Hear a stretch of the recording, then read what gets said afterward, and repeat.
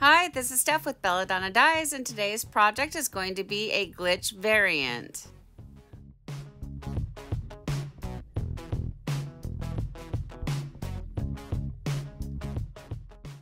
For this project, I'm going to center the shirt. So I have it turned inside out from the pre-wash, and I'm using a washable marker to mark out the center points.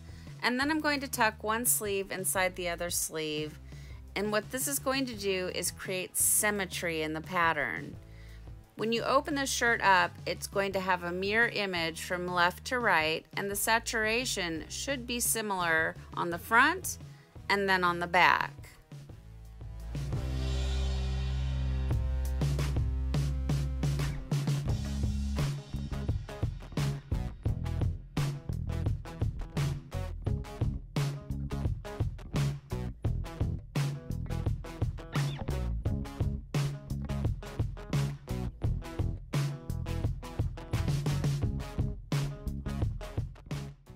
This shirt's a little bit dry. I mean, it's still damp, but it was at the bottom of the pile in the Panda Spin Dryer, so it's a little bit drier than some of the other projects, so it's really wrinkly. So as you're doing this, try to smooth out as many wrinkles as you can. I want to give a big shout out to the newest channel member, Kathy Suter. Thank you so much for your channel membership, Kathy. All of your proceeds will go back into the channel so I can continue to bring out new content.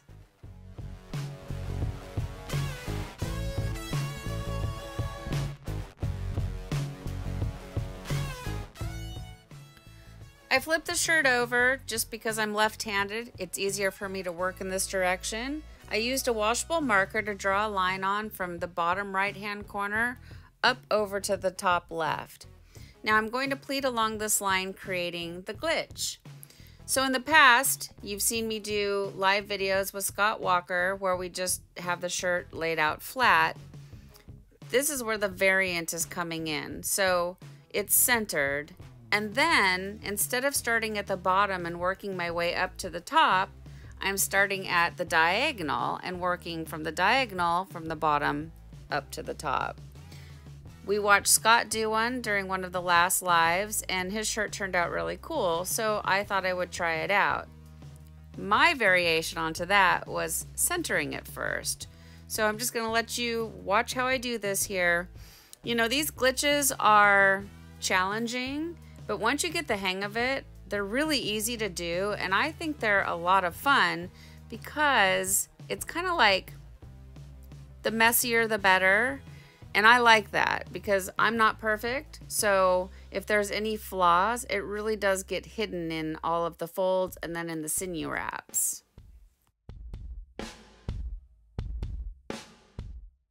So we just did the diagonal fold. Now I twisted it in front of me and I'm going to call this going vertical.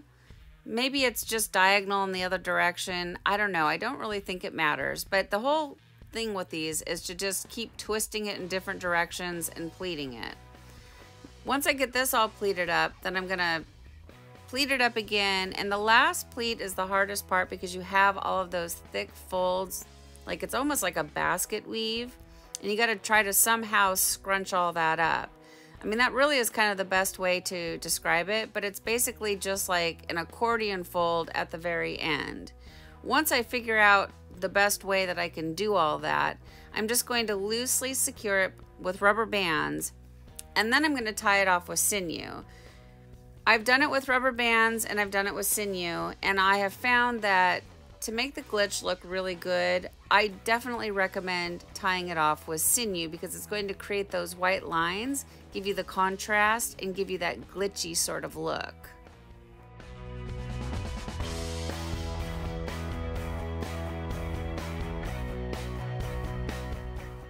I'm using my Sinew Puller and Matching Caddy set that I got from Jenn and John. You can find the shop over on Etsy, and the shop name is Shop Boredom with Jenn.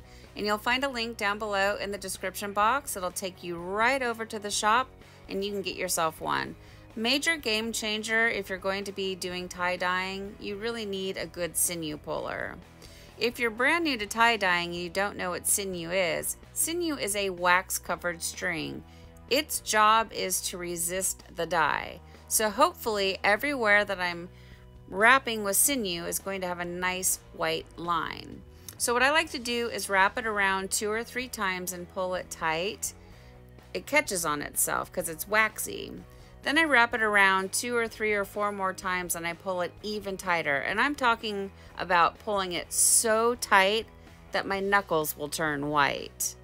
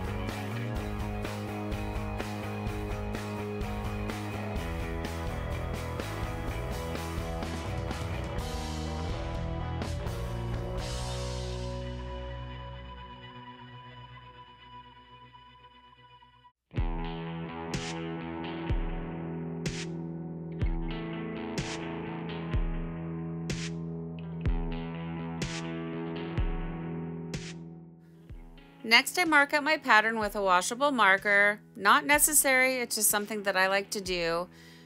But when you add your dye, you want to make sure that you add it at a really steep diagonal line.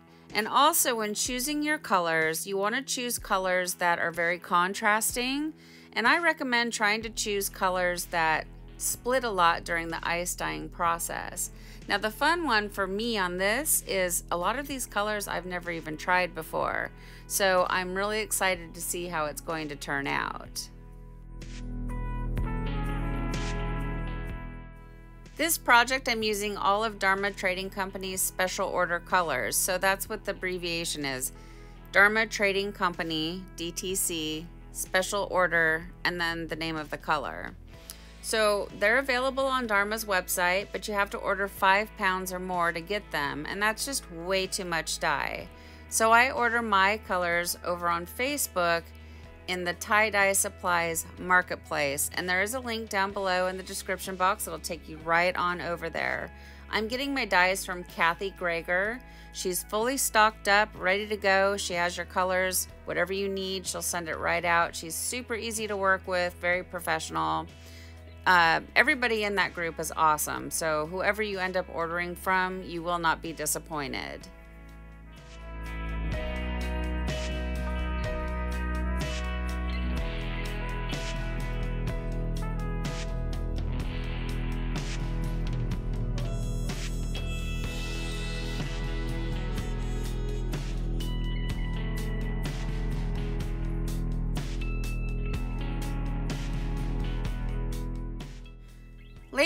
Been trying to not waste as much dye. So I use this little foil pan that I got from the dollar store to collect all the dye that fell off of the project during the application.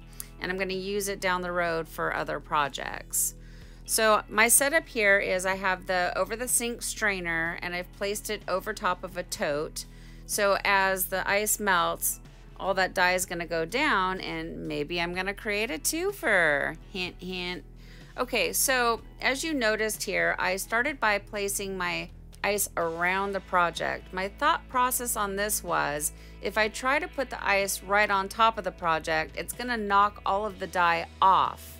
So I think it worked out really good by surrounding it with ice. And now I'm just beefing up the dye because, you know, a little bit got knocked off during moving it and everything like that. And there was a lot of white space and everything.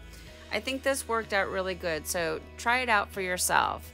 Now, this is my Frigidaire Nugget Ice Machine Ice, and if you're going to get yourself one of these, make sure that you get the second generation machine, and it's called the Gallery. It is amazing. I love my little machine. So I just gave the project a quick little sprinkle of soda ash for good measure, and then I'm just gonna fill up this whole thing with ice and then I'm going to set it aside and let it batch. Now it's recommended that you let the project batch at 70 degrees or higher for at least 24 hours and this project batch for the full 48 hours.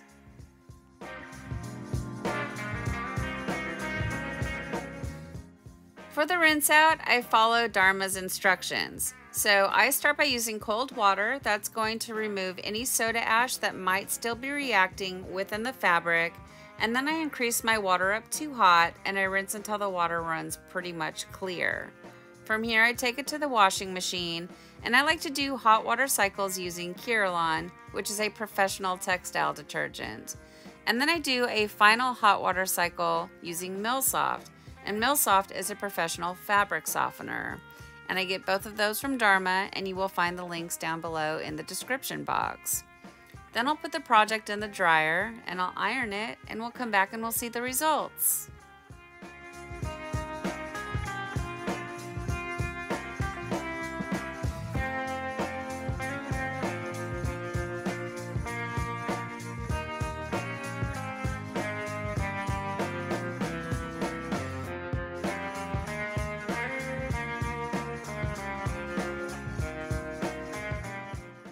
Well, here it is, guys. Here's our glitch variant after it's been washed and dried, and I think the shirt turned out awesome.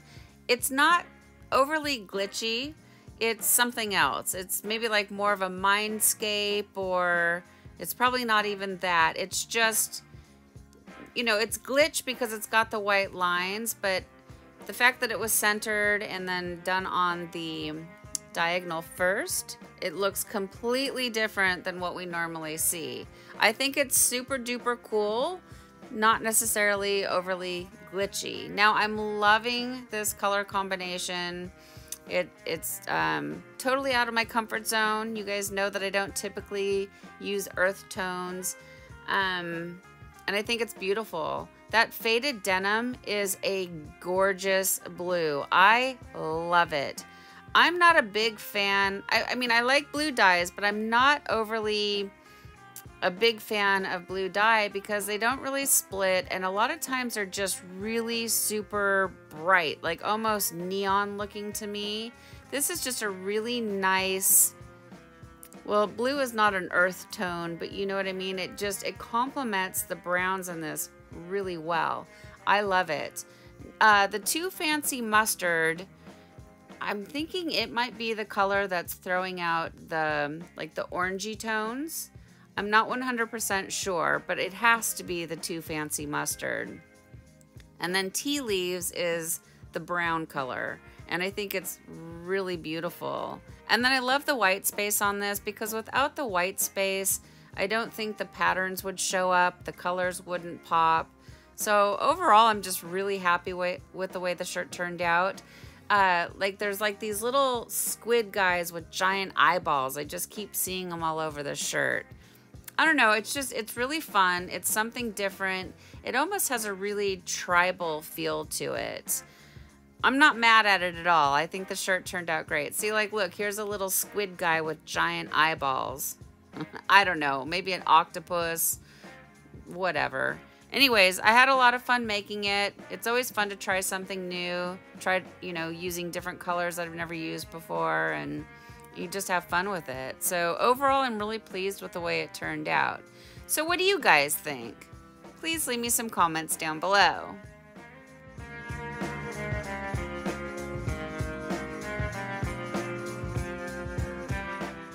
Thank you so much for watching. Please subscribe to my channel, leave a thumbs up, and click the bell and set it to all. That way you get notified of future uploads. And remember, have fun tie-dyeing!